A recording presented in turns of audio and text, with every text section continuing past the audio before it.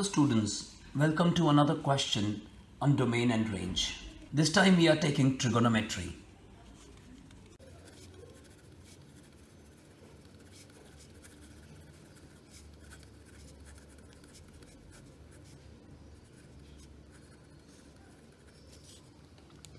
Now, for the domain, the denominator should not be equal to 0.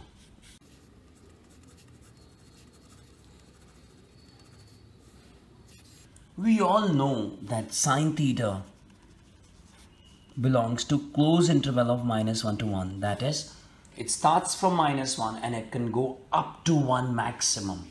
So, and now when you multiply with minus 1, this thing will happen. Which is again the same. Adding 5.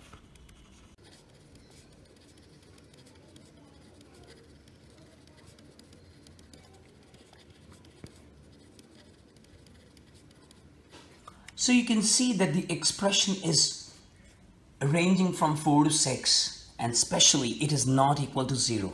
So never it will be 0. Therefore, the domain is, since the denominator cannot be 0, therefore the domain is x belonging to R, that is minus infinity to infinity. Now coming on to the range.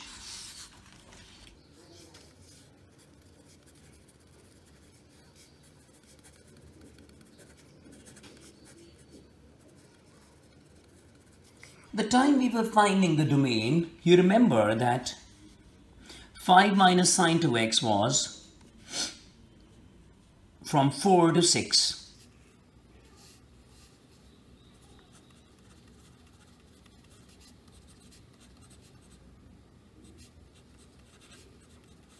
And there is a rule in case of inequations that if two quantities are positive, then their reciprocal will change the inequation.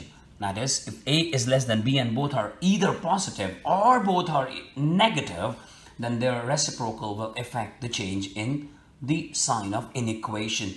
So now if I take the reciprocal, this thing will affect. Because 6 is more than 4, but 1 by 6 will be less than 1 by 4. So the range you can see is clearly closed interval of 1 by 6 to 1 by 4. Isn't it simple?